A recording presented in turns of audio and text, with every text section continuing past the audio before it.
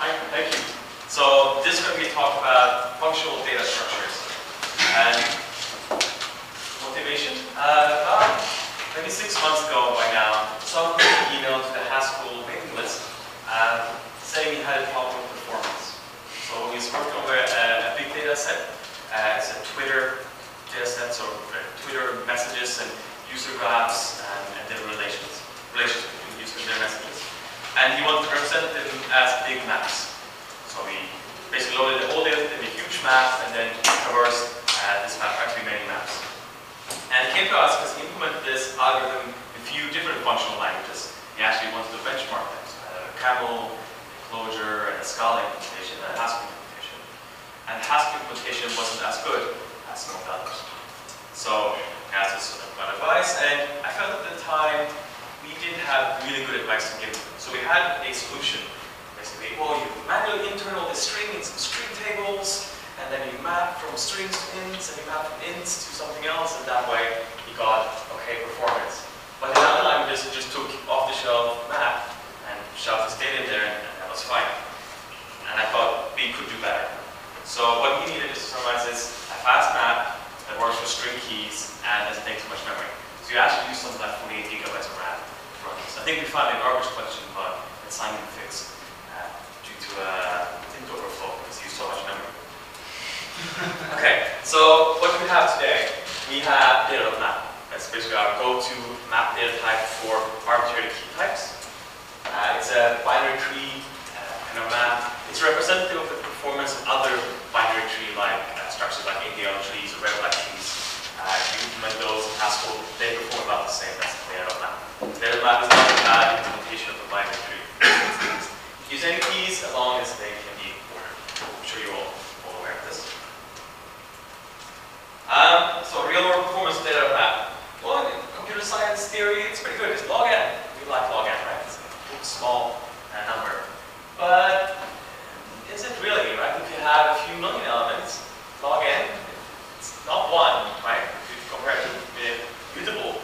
So practice log n can be slow. If it's 10, and it could be 1, that's a factor of 10 uh, slower. And it's especially bad if your data types are expensive to compare. And here's an example. Any string like that. And it's the worst case, you have to reverse the string, compare anything against every key, uh, every node in the map. And you need order of k log n comparisons in the worst case. Uh, in imperative languages, we know how to solve this problem, we use hash tables. They have O1 amortized uh, lookup and insert time, and they need to look at the key in total, and look at the key twice. For one to be a hash, and one, once you find a little uh, entry in the array, you need to actually compare it to that key that's already there, if there's a key already there, in case you have collisions. Um, so, I think it was a paper last year, uh, Neil Straka was comparing containers, uh, talking about the performance of containers in Haskell, and in that paper had a little neat idea. And in retrospect, it's kind of obvious, but we didn't do it before. Namely, if you fast data structure for ints, and you have a key type that's not an int, well, you can make it an int. You hash it. Therefore, so you can use uh, a fast int map for any data type. An int map tends to be in a quite a lot faster than, say, data map. So, so that's the idea. We can use int maps as arrays. So we can, we can do hashing without doing mutable hash tables. And we actually get some other nice benefits. So if you do mutable hash tables, you have to think a lot about collisions. Because you have an array which the size of the array is the order of the number of elements you have, maybe 30% bigger, which means that if you hash put stuff into it, you have collisions, and you think about, am I going to do chaining, or linear probing, or quadratic probing, or cuckoo hashing, and all these uh, things. And a lot of the implementation work in a hash table is doing exactly this. In our case, use an int hash map, it's trivial. We, we are hashing space, right? It's all possible integer values. Collisions basically never ever happen. And I actually measured this, so well, I did the math rather. So if you have that entries uh, in your map, you still have 32,000 single collisions. Uh, 32,000 is pretty much more than that, than that. Uh, so you can use any collision strategy. You need a collision strategy for semantic reason, right? Going to fail if there is a collision, but you don't have any time optimizing your collision case. Okay, so take this idea, we can find a hash map, well, just in terms of map plus a list of questions. And I did this, and I did also some manual low-level optimization where I took the definition of IntMap in Haskell and unpacked the keys and the values into it and said a few words of uh, indirection.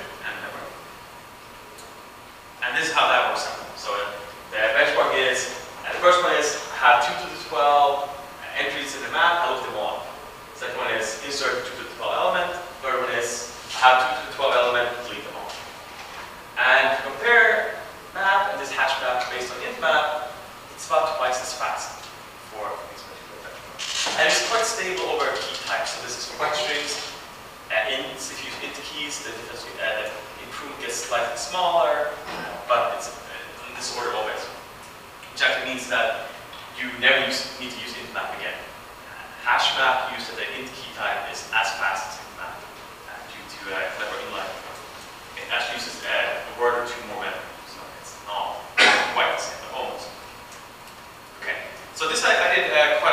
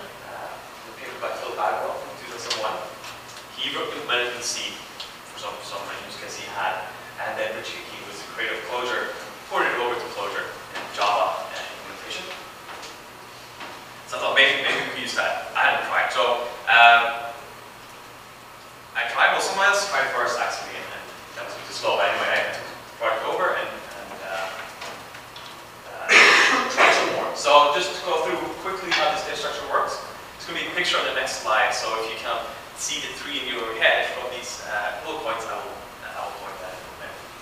So hash array mapped trie, it's a little bit like an int map. It's uh, a trie, like that's an int, as a key, but it's much wider branching.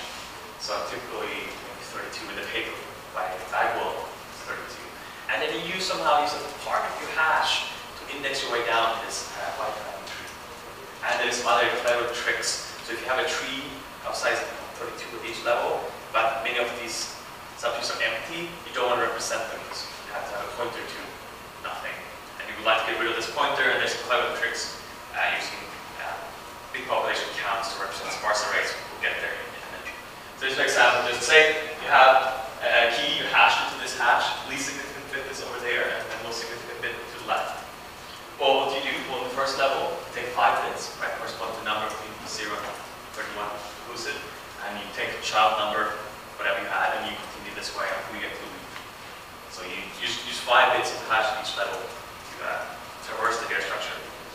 no types,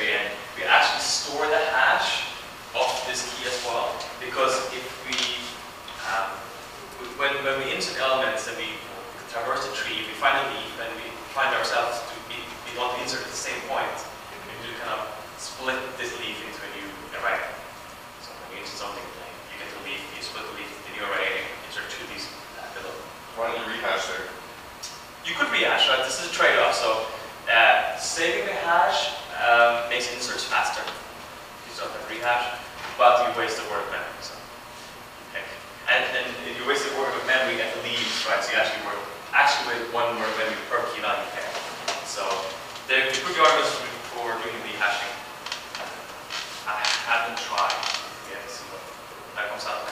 Okay, then there's the simple array case. So this is an array of size 32. Right? So with index, you just take your five bits from your hash and do a lookup, and then you get the same, guy again. We have handled collisions somehow, so if we, for any reason, needs to uh, store two key value pairs of the keys, you know, hash it to the same value, well, we have a little array, which is not sorted or anything, you search that. That almost never happens. It could actually be linearly fixed, it wouldn't matter much, because it doesn't really happen. But we need to deal with it. And finally, the, the more um, clever part is this bitmap index constructor. So the, again, it's an array, so, it, so virtually theoretically, you can think of it as an array of size 32 again. But we do not want to represent pointers to empty. So maybe you have one leaf and empty, empty, empty, empty, and then we still take 32 words. So what we do is we have a single word, a bitmap, where we have zeros if we don't have a child at this position, and ones if we do. So imagine now you want to look up an element in array position 5, but the array is actually smaller, it's a sparse array. Well, you go to the bit, bitmap, find bit 5, and then you count the number of set bits below it. And that's your real index into that array. This is a way to represent sparse arrays. And it saves quite a lot of memory. And we'll see later, there's some optimization to be done. And in the full, It says everything means the array itself can the shorter. yes, So it's not 32, it's uh, 4 or 5. right, it's, it's the size of the number of actual elements in it. Empties, empties do not appear in the tree itself, only at the top of element. So you maybe even refactor this uh, out. Um, indexing into bitmap index arrays are a bit slower, right? Because you need to do the population count of each step. That's why this is also quite useful to have. Because if you know it's full, you just you just do a load an array at this position. Um, this, this is it. So, so the, the important parts is really just the leaves and the bitmaps, and the rest are either they're considered necessary or optimization. When you insert in the front, all elements must be shifted. Um, yes, so this is immutable data structure. So every time we insert, we, we copy the whole array. That's a little expensive. We'll come to that in a minute. So it'd be basically simulating you know, variable length n tuple somehow, or a continuous n tuple, and using arrays. Like this is one way to think about it. The cache line size is something like that. Yes. There's lots of low-level optimization we do to actually make it possible to copy a thing of the size 32 all the time without having performance that's horrible. Okay, so I implement this using standard and tricks, right? Uh, unpacking to get data representation that's great, compact, not too many pointers. Uh, GHC's new inline called Pragma is great, allows you to remove dictionaries at runtime, basically you get specialized functions for your actual key type. And some low-level kind of looking at core and paying attention to strictness, but not, not too much. Um, and even after doing this, uh, lookup performance was, I was pretty happy with it. But I looked at insert performance, and it was still kind of bad, especially if you compare it to some like hash tables. So I, I was kind of hoping we could get better, except in fact it was worse than for internet. Okay, so I, I wasn't really happy with that. The lookups were great, but as you'd expect, it's a very wide tree. You have to use, take fewer steps to do something. Kind of insert stuff because you need to copy 32 slice arrays as you go. As I said, most of the time spent copying the arrays. Okay. Uh, and there was also a few reasons. One is I implement this copy loop in GHC as a loop, you know, delivers a function that indexes the array, that will, it allocates a mutable array, and that's a loop that indexes right, indexes right. Uh, and GHC just didn't compile this as well as I thought. Uh, the, the, the low-level assembly for this loop wasn't good. And also, to allocate an array, GHC, you need to, you say new array, right? The need to give element. And the reason is, the array can never be initialized, uninitialized if it's an array of pointers. Because the garbage collector might traverse it, so it can never hold garbage. When you allocate it, you can fill it with something, a dummy element. But in the case where we're taking an array, and then immediately overwriting everything, we're basically first filling it with dummies, and then we're filling it with the stuff we want. Traverse it twice. So that's some- reason why it's slow. And this is how I make it faster. So if copying is expensive, you copy less. And hopefully that will be cheaper. So uh, I will use a fan out of 32. I tried a few different ones. Um, 16 seems to be a good trade-off. It also matches the cache line sizes uh, pretty well, 64-bit machines. 8 wasn't uh, gaining us much anymore. We went from 32 to 16, we got a 40% uh, better inserts. From, from 16 to 8 was almost nothing. And one of the reasons there is uh, GHC arrays has a non-zero cost for small arrays. The arrays have a five-word overhead or so, just for having an array. So make it really small, then that overhead is starting to dominate cache line uh, usage, for example. Uh, so 16 seems to be a good trade-off, at least for now. I would like to expand it back to 32 at some point, because of course if it's wider, then lookups are faster. So, but right, now- right now I use 16. Okay, so you copy less, or you copy faster, or both. So I do both. How do you copy faster? Well, as I said, this loop I wrote manually to copy the elements from one array to another didn't compile to very fast code. And there's there's a code generator problem there, but also is a, a garbage like um, garbage um, collector problem. Because as you go through copy elements, the garbage collector can run at any point, which means that you cannot do pointer arithmetic and stuff like this for implementation. You need to uh, base offset indexing. Bit technical details, but just the takeaway is it's hard to write a fast copy loop in, in Haskell today. So what we do, we implement the compiler and then optimize the grid. So we implemented some primops for arbitrary mem copies. So GC now has internal primop for arbitrary mem copies, and on top of that, we made some specific ones just for you know, array hash and the array type we actually use. Um, and the primop is, is quite clever. The alignment of the array, the number of elements you want to copy if it's done statically, and if it's done statically, it does uh, unroll the whole loop. So in my particular case of the full constructor, remember, the full constructor, we know the exact size, 16. So it's I'm copying an array of size 16 from here to here, and we basically generate 16, well, 16 move instructions, 64-bit wide move instructions. So it's as efficient as you, as you could get it, unless maybe you could use 128-bit uh, vector instructions. And if we don't know uh, size we call out the seasonal copy, which is dynamically tuned to find alignment and do fast things. Okay, and then there's one more optimization I tried. Um, often you create your map in a linear way. Right? You have some input data and you insert, insert, insert, insert, insert, insert, insert, and then you use it. So if you use it in such a linear way, there's optimization you can do where uh, you know, from this is implemented in a kind of mutating way. So building a tree by mutating the arrays. Once we're done, we freeze them all. There's an O1 freeze operation, which you can see. And then we return it to the user. So that puts more burden on me in the implementation to not get that wrong. But if I do it right, you can use the array in a pure way, but get about twice the user performance. If your access patterns are kind of linear, or if your creation patterns are linear. Uh, so I did that, that was for insert, and I did that. It's not very happy with that, but I thought, well, I mean, I might as well try to get look lookup even faster. They were already plenty fast, but you know, always want to faster. So, uh, as I said before, we use population count, we count the number of set bits, and turns out there's instruction for this, uh, well, count. count. Uh, and if you use it uh, on the uh, architectures where it's available, it gives you about a 12% uh, performance increase. If you don't have it, you fall back to a kind of lookup-based uh, software for count. So this is now an optional flag in GG. You can compile with dash n SSE 4.2. And if you have, you know, if you use pop count and you're in an architecture where this is supported, you will get uh, count. But you still have to call like of pop count, so you don't have to know whether this is the case or not. Um, okay. So benchmarks again. So IntMap was our first improvement. We went from map to the IntMap base one. Right? And this is from the IntMap base one to the, the this is data structure, the hash array, mapped trie one. So you see lookup is much faster, twice as fast, which makes sense. The tree is, is uh, shallower. But we can get 48% improvement in lookup without losing too much in insert. Still losing 8%. By the way, this is without the pop count optimization. Like, I didn't think it was fair to show it with pop count is uh, most machines don't have yet. And uh, the leads uh, get a bit uh, not as fast in that case.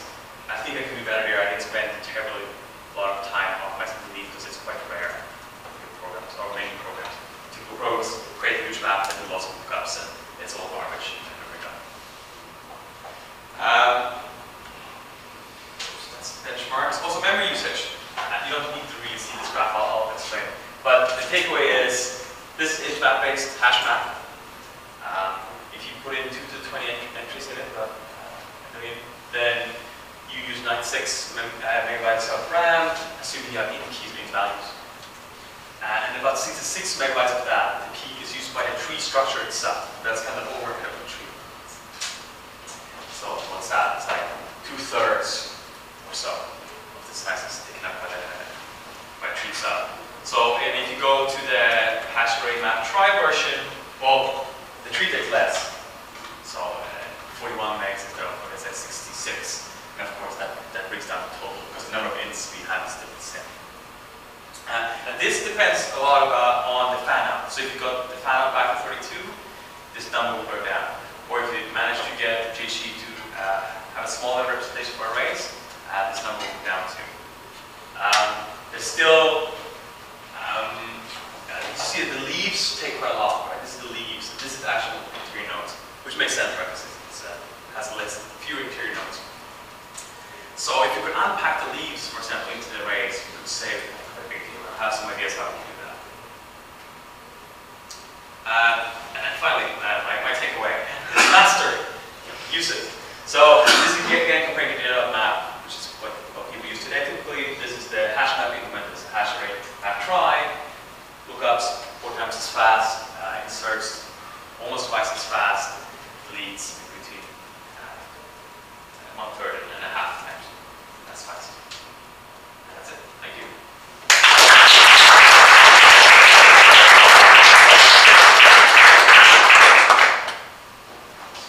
Uh, Um, um, You mentioned the problem where the array, when you're creating an array, it gets, first gets all these um, default things considered and gets filled.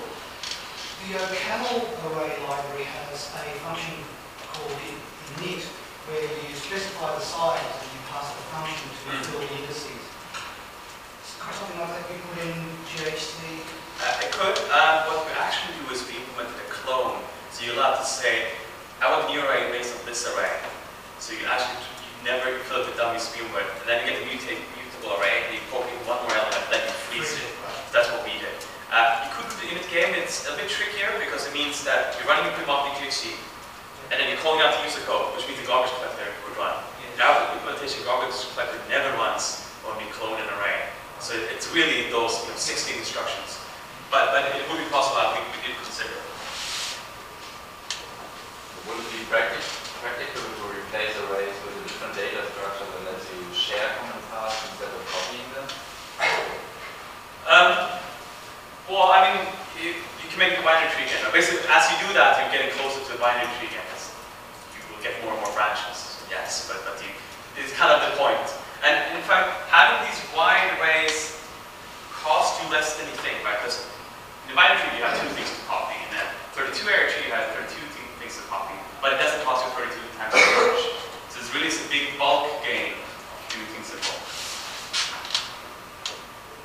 So this is really interesting. I think this Um, I was curious, uh, you talked a lot, uh, it was implicit that you're comparing against other hash implementations. Uh, which, which ones were you comparing? Well, I, I was kind of informally looking at uh, Java and C++. I don't have any numbers to The show. STL?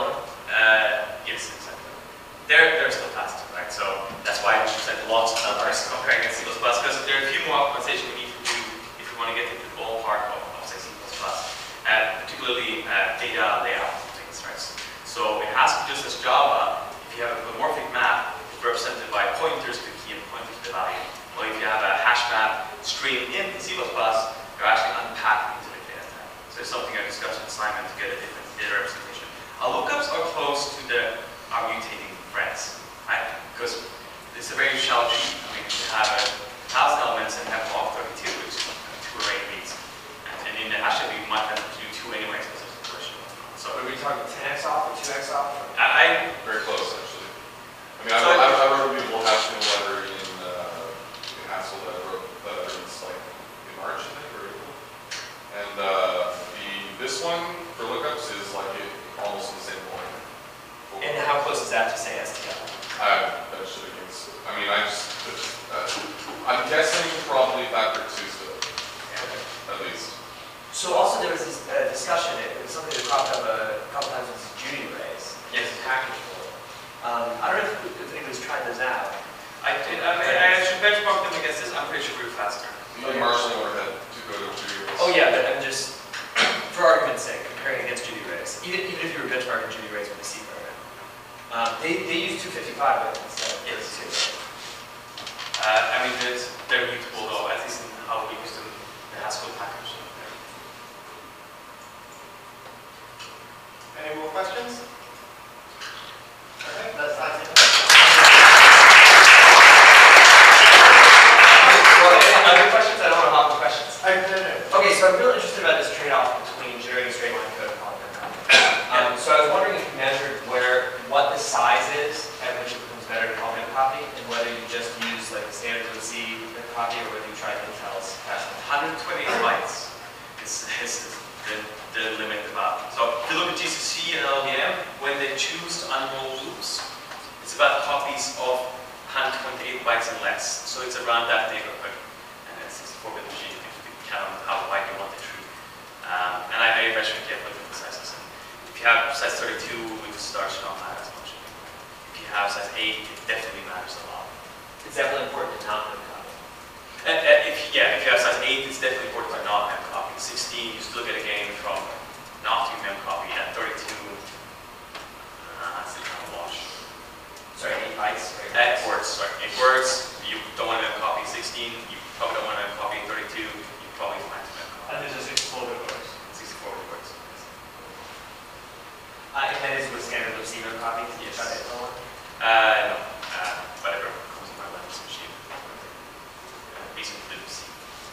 But I mean, what difficulty does is dynamically finds the language and cognitively divides until it's on the word boundary, and then it does, you know, 64-bit uh, word copy. So it's, it's pretty good. Okay, Any more questions for real? All right, let's